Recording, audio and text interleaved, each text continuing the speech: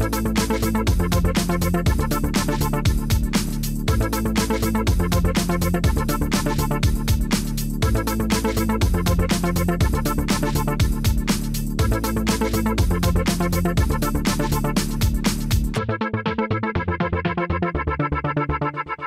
Köszöntöm a Licom Televízió kedves nézőit! Eheti Eszterházi Sport című magazin műsorunkban női kézilabda lesz a téma, hiszen ebben a szezonban, a 2019-2020-as szezonban még itt a stúdióban nem foglalkoztunk úgy kézilabdával, hogy az Eszterházi SC csapatából fogadtunk volna vendégeket. Hát ma mai napon ezzel is túl leszünk.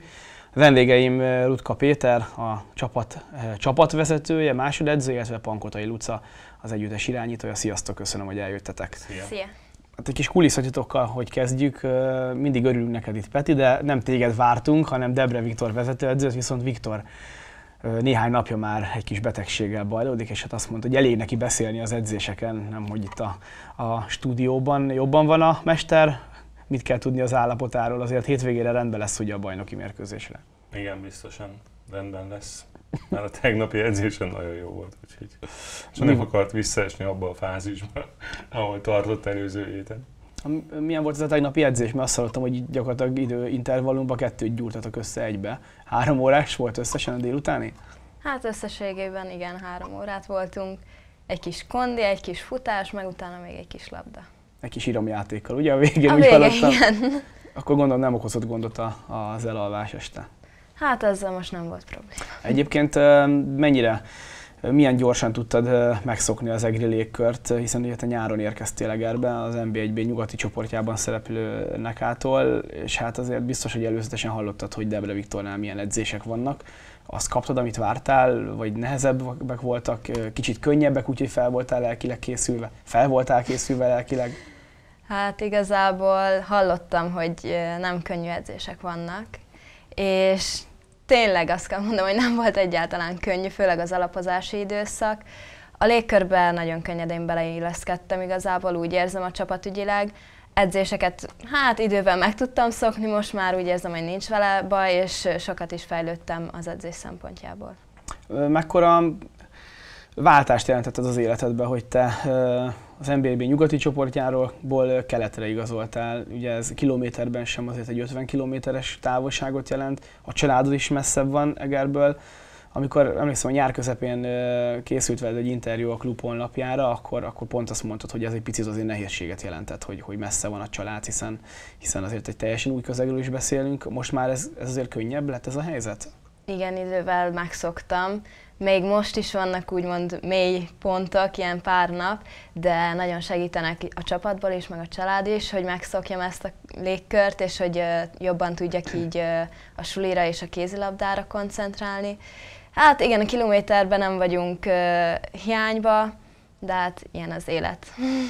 Ugye a Lucán kívül még egy játékos érkezett nyáron, mondhatnám azt, hogy négy dabból kettő kuka, ahogy szokás mondani, ők, ők egy hét után távoztak a klubtól, szerintem velük nem is kell foglalkozni. Ugye Kiser Panna még az, aki balszélsőként érkezett hozzánk. Nem volt nagy jövésmenés a nyáron, ugye négyen távoztak. Ez, ez kimondott cél volt a szezon elején, hogy nagyjából a tavalyi első osztályú csapatra épülő mag együtt maradjon, és esetleg egy-egy helyen változtassatok? Hát igen, a tervünk az ez volt, amit szerencsére sikerült is megvalósítani. Ehhez nyilván kellett a Viktor szakmai munkája, illetve azon játékosok, akik ebben hisznek, és én azt gondolom, hogy továbbra is hisznek benne. Úgyhogy hát nem volt terben nagy jövés-menés, nyilván mm, a másik két játékos jó lett volna, hogyha itt van, hiszen egy balkezes átlövő volt, illetve egy, egy hármas védő barátlövő, aki azért nagy erősítés jelentett volna számunkra. Tehát azt gondolom, hogy kár ezen keseregni. Azóta még két játékos ugye elhagyta a felnőtt keretet, de azt gondolom, akik itt vannak minden egyes nap, minden egyes edzésen úgy állnak hozzá ez a dologhoz, hogy elérjük a céljainkat. Megint egy nagyon hosszú nyári felkészülésről beszélhettünk, azzal a különbséggel, hogy a tavalyi szezonhoz képest most azt hiszem egy vagy kettő héttel később indult a szezon, hiszen tavaly a Kántál ligában már szeptember első hétvégén játszani kellett, itt pedig szeptember közepén kezdődött a szezon az NBA keleti csoportjában. Ettől függetlenül 8 hét állt rendelkezésre, 8 kemény hét, amit te is tapasztaltál, Luca. meg hát olykor te is, hiszen azért Viktornál tudjuk, hogy ha néha létszám problémák miatt is, de a stáb férfi tagjait is előszeretettel megmozgatja egyes foglalkozásról alkalmával. Tehát ez a 8 hét, ez elég kemény munkát hozott sok edzőmeccsel. Te hogyan értékeled, Peti, hiszen ugye ez volt a harmadik nyári közös felkészülésetek Viktorral, mióta itt van Egerben. Tehát új keletű biztos, hogy nem volt, legfeljebb a munka keménysége lehetett több, vagy, vagy keményebb, vagy nem keményebb. Hát igazából Debre Viktoros felkészülés volt, mindig így mondjuk. Semmiben nem volt változás, minden úgy ment, mint az előző szezonban. Nyilván, amit mondtál, azért én edzek a lányokkal, de csak akkor, amikor éppen nagyon kell, és csak azokat csinálom, amikor pont létszámhiányba be kell állni, mert ezt azért nagyon nehezen lehetne bírni. Eleve, nehezen is bírod sokszor, nem? Hát igen, nehezen is bírom, mert tehát nyilván a kondit azért nagyon nehéz helyettesíteni a lelkesedéssel, úgyhogy uh, nyilván küzdünk, csináljuk a dolgunkat, de alapvetően, amit a Luca is mondott, hogy a, az ország egyik legjobb akadémiájáról jött a Luca, a ország legjobb edzőivel dolgozik, de hát neki is tudott túlját mutatni a Viktor. Szóval ez azt jelenti, hogy itt Egerben azért nincsenek rossz helyen a játékosok, és amit mondott, az külön öröm, hogy, hogy fejlődésben is érzi ezt, meg ez már az elmúlt hetekben látszik is a Lucán, hiszen a Nánás meccsen, illetve most a Tempo ellen és a Kupa meccsen is már, már azt a Lucát láttuk, aki, aki a régi Luca. A nyári igazolások tükrében, illetve megismerve az NBB keleti csoportjának mezőnyét, ö, milyen célkitűzések kerültek eh, Gorcsió alá itt a szezont megelőzően? Gondolok itt arra, amit egyébként a kedves nézők is láthattak már Hajrá Egri Lányok című magazin műsorunkban, hogy a nyár közepén készült, egy, vagy volt egy eh, szezonindító sajtótájékoztató, ami szintén nem új keletű dolog a klub életében, hiszen mindig ezzel indul a, a felkészülés, és hát ott eh, dr. Liptai Kálmán egyetemünk rektora, a klub elnöke azt mondta, hogy dobogón kell lenni, Debre Viktor viszont merészebb volt. Ez, hogy a bajnoki cím van kitűzve a csapat elé célként, ez mennyire reálisan ö, ö, nézett ki a szezon elején, és majd nyilván beszélünk arról, hogy már négy forduló elment a bajnokságból. Mennyire reális tehát ez szerintetek, hogy, hogy, hogy valóban ezt a bajnoki címet ezt meg lehet nyerni? Igazából részem ez az első olyan év, amikor én nem nézegetem a tabellát, meg hogy a többi csapat milyen eredményt ért el. Tehát most mondanál valamit, lövésem nincs, hogy az elmúlt hétvégén ki mit játszott, mert alapvetően... Nyertünk a tempó ellen. Alapvetően engem nem igazán érdekel mindig a következő ellenfél a fontos. Ha megkérdeznéd, hogy ki az a, a rivális, akivel majd eldől ez a, a bajnoki cím vagy a dobogók, erre sem tudnék konkrét választ adni. Azt látni kell, hogy minket mindenki meg akar verni, NB1-ből jöttünk, az a céljuk, hogy bizonyítsák, hogy, hogy ők is olyan jók, mint mi. Mi ezzel nem foglalkozunk, nem tudom, hogy a játékosok ö, hogyan állnak ez a kérdéshez. Nyilván rektor azt mondta, dobogunk kell végezni, mi nekünk Viktorral egyértelműen az volt a cél, hogy, hogy nyerjünk bajnokságot, nem is lehet más, de ez a játékosokra nincs teherként felrakva, hogy hú, nektek bajnokságot kell nyerni, nekünk ez a célunk, de azt gondolom, hogy a játékosoknak is ez a célja, de ez nálunk azt gondolom, hogy nem napi téma, hogy most hogy a bajnoki cím mindig az aktuális ellenfél, és az, hogy nyerjünk. Ez a, ez a legfontosabb. Szakvezetői stáb tag fejjel gondolkozva elmondtad, hogy te hogy látod a dolgokat, viszont az előbb azt mondtad, hogy nem tudod, hogy játékosok ezt hogy állnak hozzá. Hát itt a lehetőség, hogy kiderüljön. Igazából még a bajnokság előtt azt gondoltuk, hogy lesznek nehéz meccseink, és itt az elején ki is derült igazából, hogy hiába van egy hajdunálás, egy Szeged, egy Orosháza az elején, egész jól teljesítettünk, sőt szerintem meglepően jól a bajnokság elején már. És ebből én kiindulva azt mondom, hogy nem, a, nem azt mondom, hogy teljesen sima lehet a bajnokság, de nagy fölényünk van a többi csapattal szembe. Mennyire tudtál azonosulni egyből ezzel a célkitűzéssel? Gondolok itt arra, hogy a korábbi években ugye nyugaton a NECA csapatában egy gyakorlatilag utánpótlás csapatban szerepeltél, ahol hát nem tudom, hogy nektek milyen célok voltak kitűzve, de ilyen józan paraszt észre gondolkozva, egy utánpótlás csapat, amelyik felnőtt mezőnyben versenyez, ott nem feltétlenül az eredményesség a fontos, hanem az, hogy fejlődjetek. Így volt? Hát igazából nálunk is megvolt egy alapcélkitűzés, főleg itt az utolsó pár évben azért megvolt, hogy a dobogón szeretnénk végezni.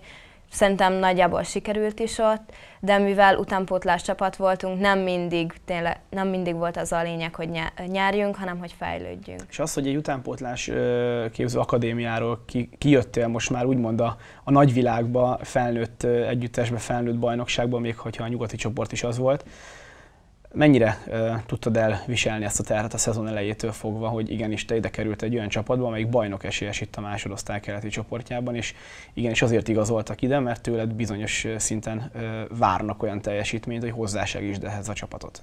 Igazából nem éreztem magamon több mindent. Ugyanúgy próbáltam a... Remélem nem is mostantól fogom. nem, nem. Teljesen próbáltam magamból kihozni a maximumot, és úgy gondolom, hogy idővel most az elmúlt pár hét alapján ez ki is jött.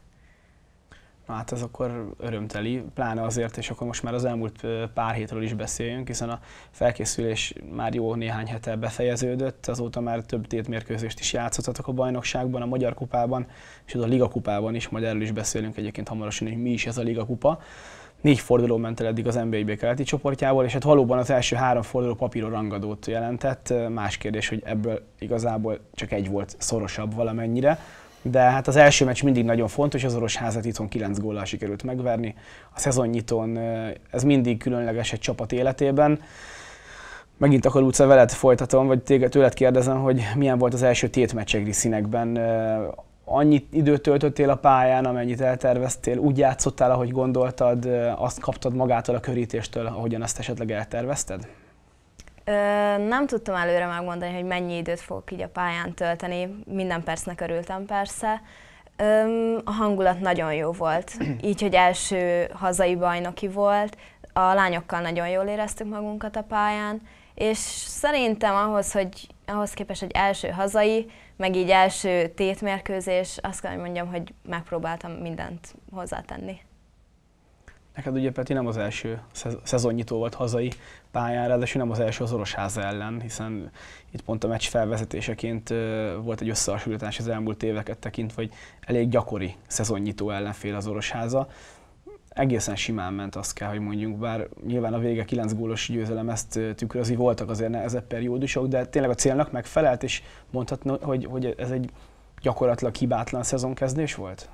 Nyilván rengeteg felkészülési mérkőzést játszottunk, volt, amikor megijedtünk, viszont az utolsó Vasas elleni mérkőzésen, ahol azt hiszem 8 darab mezőnyjátékos volt hadrafogható, megvertük a Vasas, ráadásul jó játékkal, ott azért már éreztük azt, hogy az a munka, amit elvégeztünk, az, az teljesen rendben van, és hát nyilván jött egy olyan motivátoros háza, aki meg akarta mutatni, hogy na majd ők.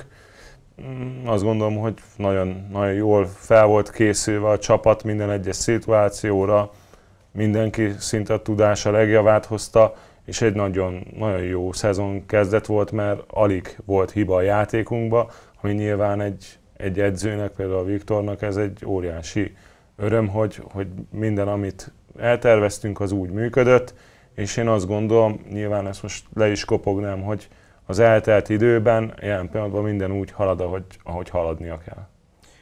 Pláne, hogy egy héttel rá, amikor a Szeged KKS otthonába látogattatok, akkor hát szerintem nyugodtan mondhatjuk azt, hogy a meccs hetében, a meccs előtt azért sokkal feszesebb, szorosabb mérkőzésre számítottunk, mint ami végül lett a Tisza partján hiszen végül 14 góllal sikerült nyerni idegenben, amire szerintem előszesen azért nem biztos, hogy sokan számítottak volna, vagy számítottunk volna. Pláne azért, mert te azt mondtad az előbb, ugye, hogy nagyon nem nézegettétek az ellenfeleket. Persze videó alapján felkészültetek, de tehát a szegediekről nem jó emlékeket ápoltunk a korábbi években, amikor az NBA-ben szerepeltünk, és hát ennek ellenére egy nagyon magabiztos győzelmet sikerült aratni az első idegenbeli mérkőzésén, Rangadón, ilyenkor már azért az ember elhisz, hogy tényleg az a nyári 8 munka, amit beleraktatok, az, az ilyenkor már látszik, hogy kifizetődik? Azt nem tudom, hogy elhiszik-e vagy nem. Mm, az elhiszed? Én elhiszem, persze, elhiszem. Nyilván most ez a Szegedi, tehát rengeteg olyan közjáték volt ott is, hogy nem ért véget előtt a, előtte lévő mérkőzés. Csúszás volt, ugye a bemelegítés is most már azonos szálon fut, ami közösen, tehát olyan dolgokat próbálgatunk, ami mind a játékosoknak a teljesítményét növeli, vagy egy bemelegítés is, hogy már úgy tudjanak pályára menni, hogy, hogy tényleg, mintha meccsbe lennének, és ezt most éreztem először hétvégén, hogy, hogy nagyon, nyilván az ellenfél is más szituációkat teremtett, mint eddig, de most nagyon éreztem azt, hogy nagyon, nagyon benne van a csapatban az a játék, hogy minél hamarabb kijöjjön a különbség, aztán megnyugtató előnyünk legyen, és tudjanak kézzelabdázni. Mint például a Hajdunánás ellen a Magyar Kupába, ahol, ahol nyilván ilyen öröm kézzelabdát játszottak a lányok, és visszatérve, amit mondtál, hogy ö, ott tapasztalták meg szerintem a Lucáék is, hogy milyen hangulat lehetne a csarnokban, amikor a szurkolóink ott voltak. Nagyon hiányoznak, mert pont a Nánás elleni bajnoki meccsen olyan volt, mintha egy templomba lennék, tehát kijönnek a nézők, de síri csendben hallgatják a, a misét, tehát itt majdnem ugyanilyen volt. Utána meg egy kupa meccsen, mikor ott volt a, a szurkolótábor, tehát teljesen más kézlabdázni, egy olyan hangulatba, ami minket belehajszol a győzelembe. Úgyhogy hát nagyon remélem, hogy visszatalálnak hozzánk, és minél többször fognak jönni. Egyébként a Nánás bajnoki mérkőzésre visszatérve, tehát ez az egész hét egy kicsit túl volt spilázva, túl volt reagálva, hogy fú, ez, a, ez majd a nagy bajnoki rangadó lesz, aztán azt gondolom, hogy olyan görcsösség volt bennünk 60 percig, amit saját magunkat kellett először megverni, nem a nánást, de szerencsére sikerült, úgyhogy tehát ez egy jó szezonkezdés jelen pillanatban. Igen, hiszen ugye itt, itt a három mérkőzés után csak azért rakhatunk egy kicsi pontot, mert ugye itt három papíron rangadóról beszéltünk, ami most legutóbb volt a Tempo KS elleni idegenbeli találkozó, egy újonc fiatal kerett ellen, azért az egy papírforma, abszolút magabiztos papírforma győzelem volt, de visszatérve a hagyományos meccsre, azért itt, ahogy te is mondtad, Peti, ez a meccs közben lehetett látni a gátlásokat, hogy amikor négy-öt góllal vezettünk, és ott el lehetett volna dönteni a meccset, akkor mindig jött egy belebakizás, ami után visszajött a nánás, és akkor megint izmozni kellett. Szóval, hogy, hogy volt egy ilyen hullámzás a meccsnek, kézben volt magabiztosan a meccs, de, de hát igen, hamarabb el lehetett volna dönteni. Luca, jól emlékszem, azon a meccsen a második fél lépte először pályára, lőttél öt gólt, ötöt, ugye? Jól emlékszem? Hát én nem szoktam számolni, szóval.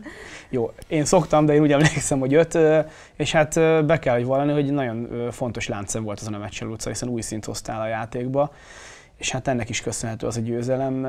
Te, te hogy érezted ott a pályán ezt a dolgot, amit Peti is elmondott, meg amit én is felvázoltam, hogy picit ilyen hullámzott a teljesítményetek, hogy amikor el lehetett volna lépni, akkor, akkor valami megint közbe jött? Hát sokszor nyáron is előfordult nálunk ez a hiba, úgymond. Próbáljuk minél jobban ezt kiküszöbölni, hogy minél kevesebb ideig legyünk negatív formába. Pontosan az okát nem tudom megmondani, és szerintem, hát lehet, hogy Viktorék sem tudják mindig megmondani. Valamikor, valamikor talán az, hogy elkezdünk kicsit fáradni, és akkor van az tényleg, hogy néha belecserélünk, és egy kis lendületet hozunk újra a csapatba, de megvannak igazából úgymond, hogy kinek mi a szerepe. Hát nekem éppen akkor az volt a szerepem, hogy egy kisebb lendületet hozzak. Igen, és érdekes, hogy talán ez volt az a meccs, ami, ami elindított téged azon a pályán, ami most folyamatosan tart, hiszen ott tényleg nagyon jól játszottál a második fél időben, aztán jött a kupa meccs, ott is fontos láncem voltál, aztán pedig ugye volt ez a tempó elleni találkozó, ahol 8 vagy 9 gólt lőttél, na ezt már, ha nem számolod, akkor nem fogod tudni, de valahogy így egyébként ezt, ezt jobb, hogyha elhiszik a kedves nézők. Szóval úgy tűnik, és a Peti is mondta a beszélgetés elején, hogy most az elmúlt hetekben valóban bizonyítod azt, hogy miért is kerültél Degerbe. Úgy érzed te is tényleg, hogy hétről hétre, meccsről meccsre egyre jobb teljesítményt tudsz nyújtani, és hogy már tényleg veled az ajtót a, a folyamatosan kezdő irányító pozícióért? Igen, most az elmúlt hetekben jól jöttek ki a meccsek nem alapoznék erre a tempó meccsre teljesen, mert azért Viktor is mondta, hogy egy-egyekben nem olyan erősek, nekem meg az az erősségem, de nehezebb csapatoknál is próbálok azért ilyen teljesítményt hozni hétvége tempó, ugye itt tartunk időben, egy újonc csapatról van szó, tavalyok az MB2-es egyik csoportot nyerték meg, és hát így kerültek fel, még a találkozó a forduló előtt nem volt pontjuk, szerencsére a forduló után sincs még pontjuk, hiszen egy nagyon magabiztos győzelmet sikerült aratni egy nem éppen korszerű sportlétesítményben a fővárosban, de hát ez csak ilyen mellékzönge. Jó volt látni a csapatot kívülről, a kispadról? Én a másik oldalon ültem, és megmondom, ez nagyon jó volt látni, hogyha jól emlékszem, az első nyolc támadásból nyolc egri született. Így kell elkezdeni egy ilyen idegenbeli meccset, ahol idézőjelben egy kis csapat ellen kell pályára lépni, nem? Hát igen, ott kicsit furcsán néztek, hogy, hogy a csapat már fél öt előtt lejött, mert ugye ilyen buszos túrák után kicsit lejönnek, hogy mozogjanak, ne az öltözőbe kuksoljanak. Meg nyilván minden más, nem a játékosokra van bízva, hogy ki hogy melegít. Nem tudom, hogy ez valakinek előnyt jelent, lehet valakinek nem, nem tudom, de egyelőre ebben nem érzek negatív hatást. Nyilván jó volt látni, hiszen komolyan vették az első perctől kezdve a találkozót. Igaz, én Viktornak mondom a másik fél hogy ez egy 30 perces meccs volt, mert a másik fél egy értékelhetetlen találkozó volt a mi szemszögünkből is, az övékből is, tehát mindenki azt várta, hogy legyen vége, és lehessen menni haza pihenni. Úgyhogy ez egy 30 perces meccs volt. Nyilván egy, egy fárasztó hét után voltunk, hiszen itt egy hét alatt három meccset is kellett játszani, de a héten már visszaáll az a ritmus, ami, ami a megszokott. Amit mondtál, hogy pontot kell tenni, hát pontot majd a Göd meccs után fogunk tenni decemberbe. Élesnek kell lenni, mert ezek a mérkőzések is tudnak nagyon nehezek lenni, hogyha nem úgy állunk bele, nem úgy koncentrálunk, de jelen pillanatban tényleg csak pozitív dolgokat lehet mondani, és nyilván most a Dunakeszire is úgy készülünk, hogy egy hasonló felfogásban és hasonló tempóval kézlabdázzunk, mint a a szombati napon. Mindenesetre a csapat nagyon együttérző volt betegmesterével, hiszen egyszer sem kellett időt kérni a Debre Viktornak kimélni a, a, hangot, a hangját, a torkát, hiszen tényleg ebben az első fél sikerült eldönteni a meccset, aztán a második az meg, az meg leperget valahogy. Na hát nézzük meg akkor a negyedik forduló többi eredményét, illetve a bajnokság állását, aztán megnézzük az elmúlt hétvége más vonatkozású Eszterházi eredmény sorát, és aztán a műsorunk hátralévő részében beszélgetünk még itt Magyar Kupáról és Liga Kupáról a női kézilabda csapatunk kapcsán, de még ennél a témakörnél maradva a negyedik forduló itt az NBA keleti csoportjából. A következő ellenfelünk a Dunakeszi hazai környezetben négy góllal verte meg a Balmazújvárost 29-25-re. A Szeged pénzügyi örmecs 24-33-mal zárult, Hajdunánás Fradi U19 37-29, mi 35-24-re nyertünk tehát az építők csarnokban az újonc Tempó KSE ellenében. Marosháza Kecskemét 30-25, és a végén Göt Kispest 37-32. Láthatjuk a bajnokság állását, négy fordulót kellett arra várni, hogy már is a lista élén az Eszterházi SC együttese. Egyedüli hibátlanként a mezőnyben láthatjuk, hogy négy meccs, négy győzelem, ez 8 pont. Második a pénzügyőr, még egyébként ők az a másik csapat, akik nem kaptak ki a bajnokságban. Látható, hogy három győzelem és egy döntetlen a nevük mellett. Harmadik helyen pedig a Hajdúnánás. És akkor, ahogy említettem, nézzük meg, hogy az elmúlt héten még milyen sport eredményekről tudunk beszámolni az Eszterházi Károly Egyetem vonatkozásában. Férfi vízilabdásaink hétvégi mérkőzése elmaradt. Érdekes egyébként a sztori, hiszen az OB1B A csoportjában több második számú csapat is szerepel, akik ugye utánpótlás játékosokra alapoznak, és hát a hétvégén országos utánpótlás bajnoki fordulót rendeztek. Vasárnap a Fradi 2-vel kellett volna játszanunk, de erre hivatkozva szombaton nem tudtak játszani. Hát érdekes, nyilván felvetődik a kérdés, hogy mi értelme van akkor így második számú csapatok elindítását erőltetni másodosztályban, hogyha le kell mondani a mérkőzést, hogyha nem az a cél, hogy minél többet játszanak. Mindegy, ez, ez nem egy ide tartozó dilemma, de ennek köszönhetően nem volt az elmúlt hétvégén meccs.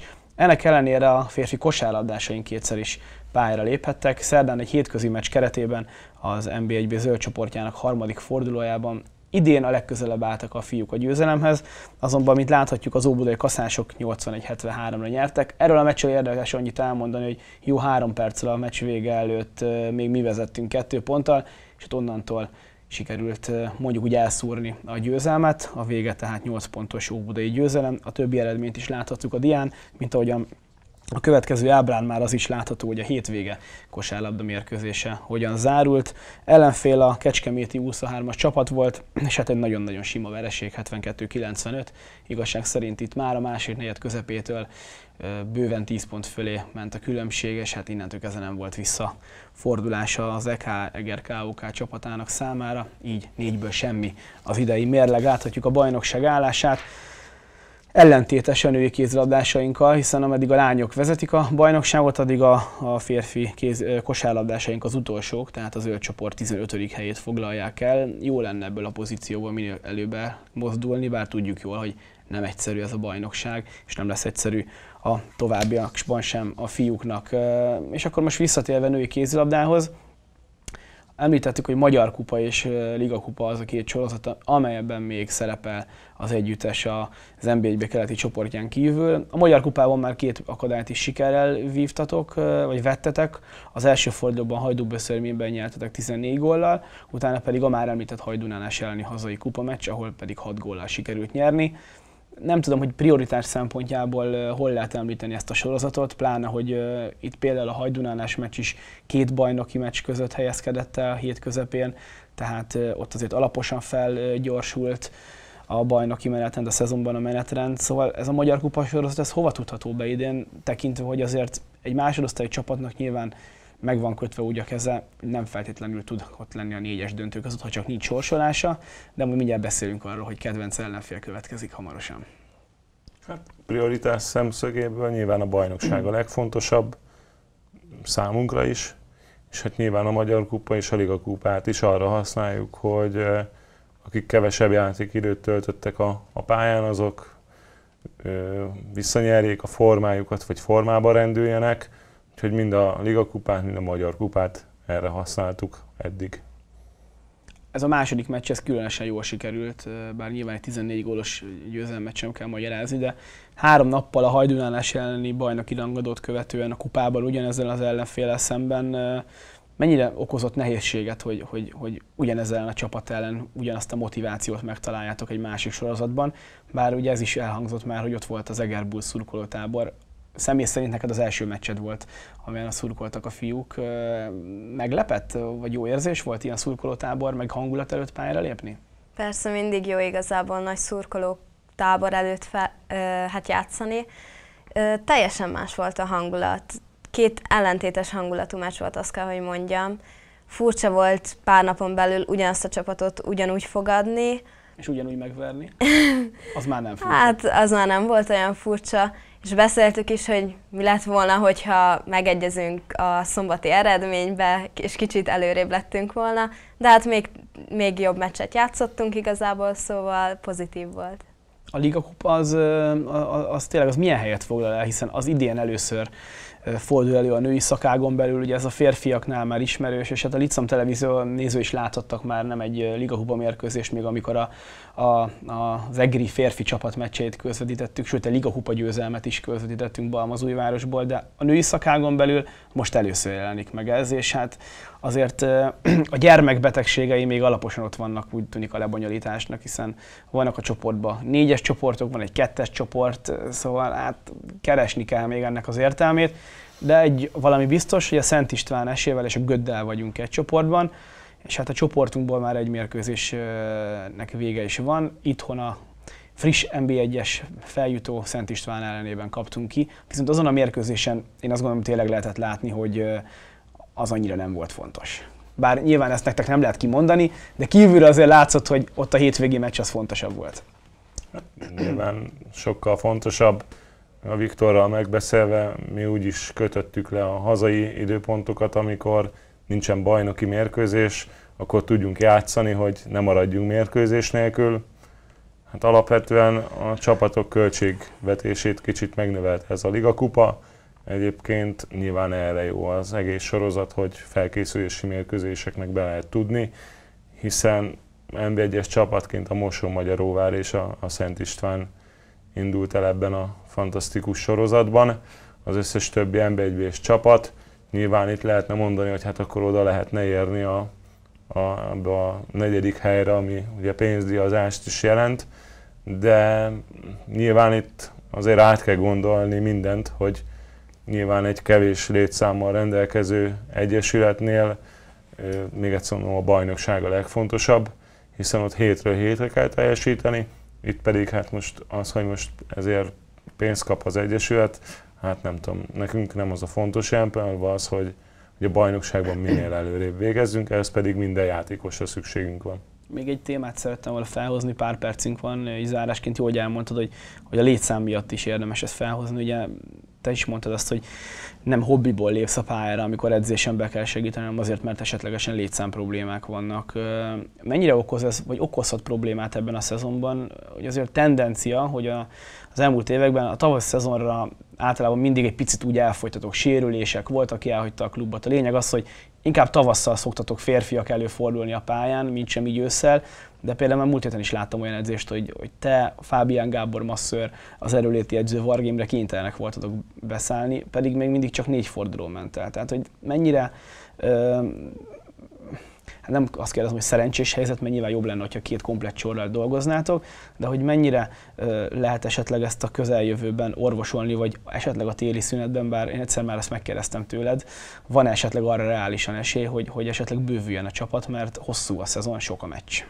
A csapat bővült, mert Horváth Robi is beállt már az egyik edzésre valamelyik nap. De nyilván a tréfát félretéve nem hiszem, hogy tudjuk pótolni, hiszen Rektor megmondta, hogy az iskola nagyon fontos, ezt mi is így gondoljuk, és ez továbbra is egy egyedüli történet, ami Egerben van, mert a lányok iskolába járnak egész nap, még ha sokan ezt nem is hiszik el.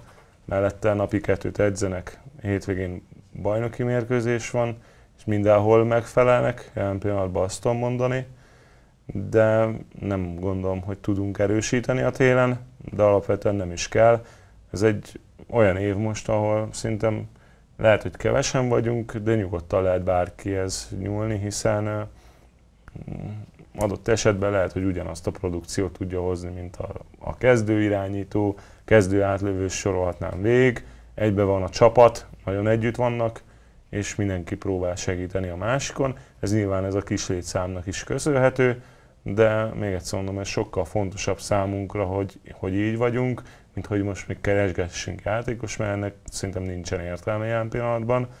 Úgyhogy meglátjuk, reméljük, hogy ősszel ki tudtuk pipálni azt, hogy, hogy az elmenők elmentek, ami számomra érthetetlen dolog, mert tehát ilyet megyei szinten sem nagyon sokan mernek megtenni. Itt megteszik, mi ehhez asszisztálunk, én azt gondolom, hogy sokszor, de nincs jelentősége, hiszen a csapat sokkal fontosabb jelen pillanatban, mint egy-egy személy, és azt gondolom most a sikerességünk titka megint abban rejlik, amiben az elmúlt két évben, hogy egységesek vagyunk, igaz kevesen vagyunk, de nagyon együtt mozgunk.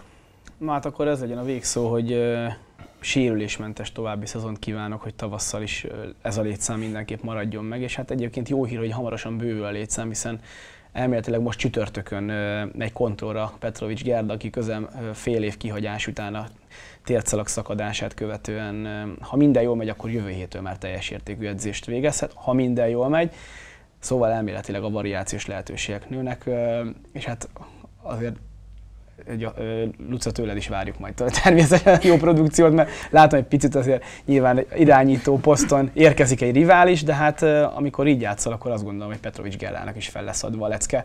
Ez viszont már legyen az edzőknek a problémája, kellemes problémája. Nyilván említetted a Gerdát, a Bíró Esztert ma megműtötték, és valószínűleg 5 hét múlva ő is teljes értékű edzéseket tud produkálni, már megtalálták, mi okozta a sérülését, hála jó Istennek Úgyhogy, amit mondtál, valószínű, hogy növekszik a létszám, és azt nagyon fontos elmondani, hogy, hogy ugye négy olyan ifista korú játékos van fenn a keretben, akik gyakorlatilag nálunk kezdték a kézlabdát, igaz a Panka esetében ő, ő gyöngyösön jött, de alapvetően a, a nagy dolgokat már itt kapta, és ez szerintem mindenki számára öröm lehet, ha egy kockalire ránézünk, hogy hogy gólokat tud lőni az ember egy B-be, és ne adj Isten, ha tavasszal úgy alakul, egy, egy szép szezon zárása lehet mondjuk a, a Lili életének is.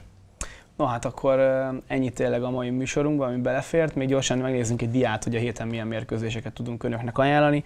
Pénteken egy vízilabda mérkőzés a fővárosban, 19.30-tól a Vasas 2 otthonába látogat az Eszterházi RC csapata bocsánat, van még egy pénteki mérkőzés, 18 órától a Bonyhádra látogatnak a kosárlabdásainkat, jó sokáig kell majd utazniuk a fiúknak, remélhetőleg azért, hogy meglegyen a szezon első győzelme, és hát ami a már említett szombati kézilabda mérkőzés, Eszterházi SC Dunakeszi, 18 órától az Eszterházi csarnokban, ez tehát a hét programja, most pedig utánunk egyből megtekinthető a hétvégi Kecskemét elleni vesztes kosárlabda mérkőzés, ez a heti programunk, egy hét múlva pedig jövünk a szokásos műsorainkkal és a mérkőzésekkel.